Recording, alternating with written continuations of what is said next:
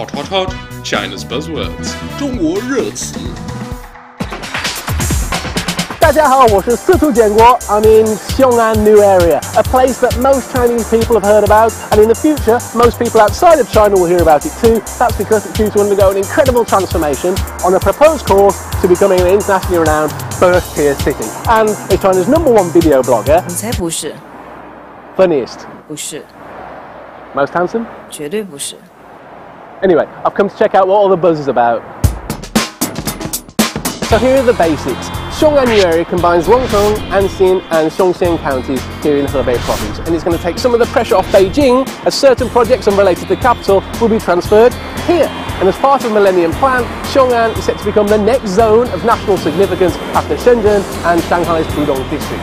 And in much the same way that Shenzhen rose up from what was once formerly a fishing village and Shanghai Pudong district developed from farmland along the east bank of the Huangpu River, Xiong'an New Area, around 100 kilometres away from Beijing, is set to undergo a similar but altogether different and certainly historical transformation.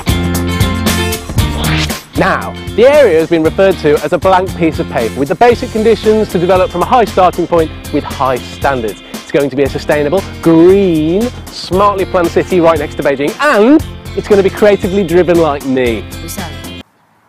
Anyway, um, the difference between Xiong'an New Area and Shenzhen and Pudong District in Shanghai is that in the city planning stages, they're going to utilise knowledge and technology that wasn't previously available.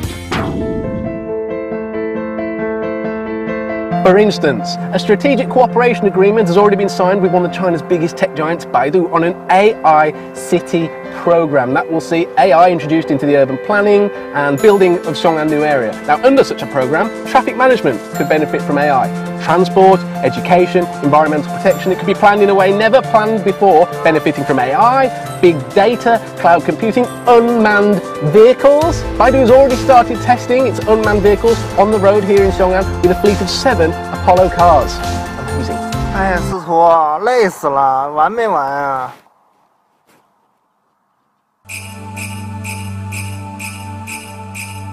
And as for being green, the new area is going to utilise renewable and low carbon energy resources. And the city is not going to be a concrete jungle. There's plans for more than 70% of the area to be covered by water and trees. And that includes the renovation of Xiong'an's Baiyangdian Lake. Now, have I got time for a swim? no Can I at least go on a boat? no，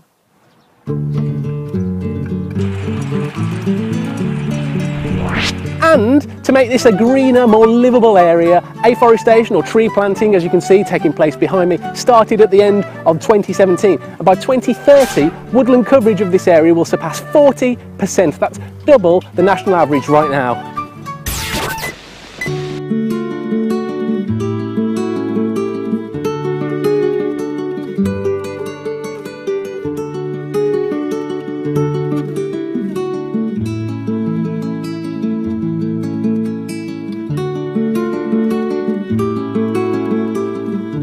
kemana? Nothing.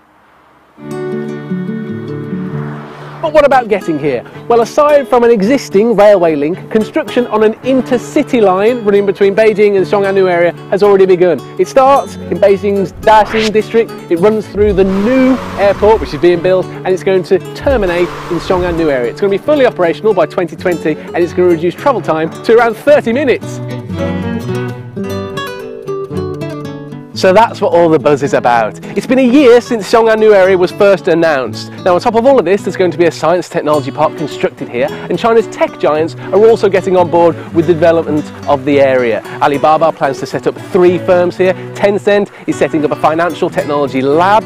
China Telecom is trialling its 5G network services, which means there'll be no more of this ever again. And China is jointly setting up a financial technology hub here in the area with the UK. Whew Oh, and I am the funniest, most handsome number one China video blogger. 你不是， Now, now, now, now, now. And, and more than double, that's double,